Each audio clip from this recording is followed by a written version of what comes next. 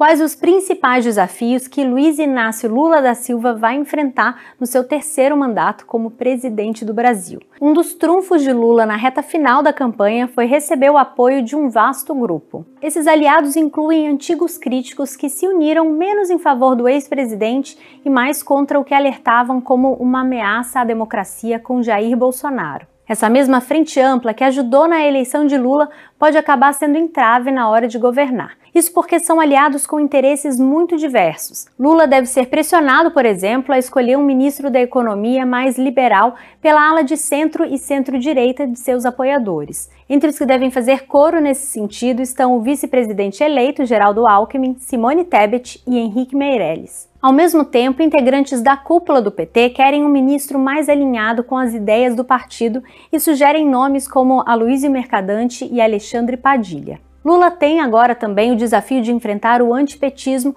e uma forte oposição dos apoiadores mais fiéis de Bolsonaro. Ele assume um país dividido em que quase metade da população tem visões bastante diferentes da outra metade, convivendo nem sempre de forma pacífica. Na campanha, houve morte de eleitores após discussão sobre voto. Tivemos também relatos de perseguição de pastores a evangélicos que não concordavam com a pressão das suas igrejas por apoio a Bolsonaro. Ouvimos também casos de intimidação por parte de patrões. Foram episódios que mostraram a que nível essas divergências podem chegar.